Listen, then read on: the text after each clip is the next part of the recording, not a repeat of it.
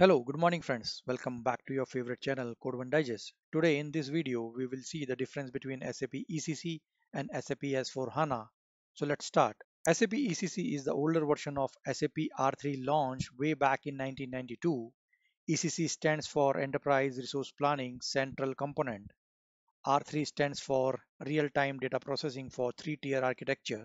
Whereas SAP S4 HANA is launched in February 2015 S4 stands for simple and fourth generation of the SAP Business Software Suite, whereas HANA is stand for in-memory database platform for SAP that enables real-time processing and analysis of the vast amount of data combining transactional and analytics workload in the single system that is OLTP and OLAP. Let's understand the major differences in SAP ECC and SAP S4 HANA. First, database and performances. The most significant distinction between two systems is the database they run on. SAP ECC can run on various third-party databases such as Oracle, IBM DB2, and Microsoft SQL Server. This traditional disk-based database structure can lead to a slower data processing and reporting, especially for large volume of data. Whereas SAP S4HANA runs exclusively on SAP HANA database, which is in-memory database. This means that data is stored in main memory instead of on hard disk. This in-memory technology allows for significantly faster data processing, real-time analytics, and much smaller data footprint due to data compression and elimination of data redundancy. Second, user interface. The user interface is another major point of differentiation impacting the user experience. SAP ECC primarily uses this SAP graphical user interface, which is classic functional-oriented interface. It is complex to navigate and is not always intuitive for new users. SAP S4HANA introduces SAP Fiori, a modern role-based and responsive user interface.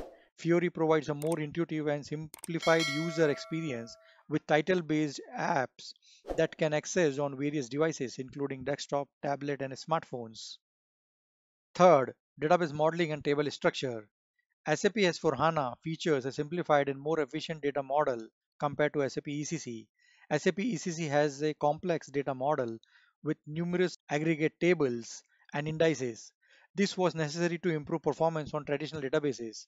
Whereas SAP S4HANA introduces the Universal Journal, which combines data from different financial and controlling module like FI and CO into a single line item table. This simplification eliminates the need for many aggregates and index tables, reducing data redundancy and improving the data consistency. For example, in S4HANA, the material document table, MKPF, and MSEG are consolidated into new table called MATDOC. Fourth, deployment options. The available deployment options are also differ between two systems. SAP ECC is traditionally deployed on-premise, meaning the software is installed on company's own server. Whereas SAP S4HANA offers more flexibility with multiple deployment options including on-premise, public cloud, private cloud, and hybrid approach. This allows organizations to choose the best model for their business needs and IT strategy.